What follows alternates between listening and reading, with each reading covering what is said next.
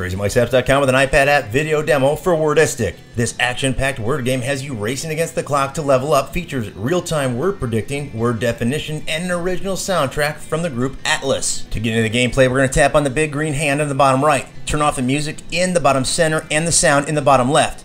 Once we tap on the hand, we're going to go into the loading dictionary phase. Takes a few seconds, but once that's done, the letters will start to drop from the top of the screen after a countdown, and you need to spell words as fast as possible, three letters or more, to get rid of the 50 points that we need to go to the next level. We have 30 seconds, represented by the green numbers in the upper right.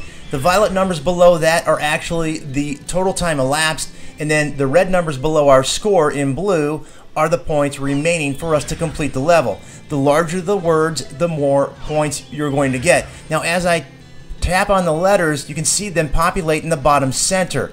If I had the word predictor on, it would start providing me with suggestions. If I want to get rid of a letter, I tap on the red arrow in the bottom left, a green check mark, tap on that, it'll actually spell the word. The clock also gives you extra time. It's a power up. Now, sometimes you're going to tap on the hand thinking you have a right word, and you'll go into the settings menu, which you just saw a minute ago, and I'll explain more. Tap on that swirl, that provides a 7 second force field that corrals all the letters for you to go ahead and take advantage and spell as many as you can. At the end of a level, you'll get your points breakdown as well as all the words you spelled and what their points were worth. Off to level 7 with track 2, there are 26 Atlas tracks in this app. Now we have the actual definition mode on. You can tell that at the bottom left, you'll see the actual magnifying glass in the bottom left. And when you see that, each time you spell a word, it's going to pull up a definition from the dictionary, in this case for wilt. We get the definition. We also get examples of how the word is used in sentences. Same thing for sod.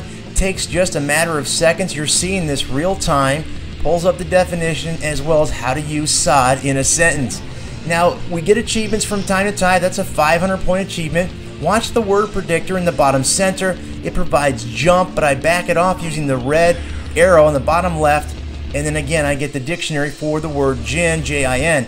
And there's the force field. When you have that force field, you can really make some letters and tap on that green arrow on the bottom right to rack up the points. And you can see the points dwindling once you're done with wire, levels complete. And again, we're going to get a breakdown of our level points, level words, level time, and how long it took us to complete that level. Lots of statistics on the main menu. I'll show you those. Again, we're in level 9 now, and they continuously give you different tracks. There are also different backgrounds, and you don't have to have the background spinning. You can have it stay still. You can also set how the letters fall, and I'll show you some of those settings in just a moment after this level is over, I actually am waiting for a letter here, H, to spell quench. I want to spell a big word. They give me quenches. I wait for the H and I get an 800 point achievement and I'll complete the level with top.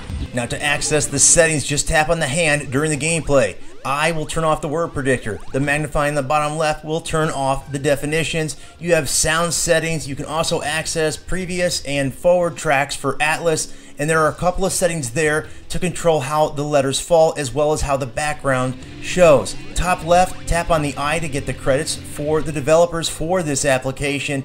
Facebook enabled, Apple Game Center enabled.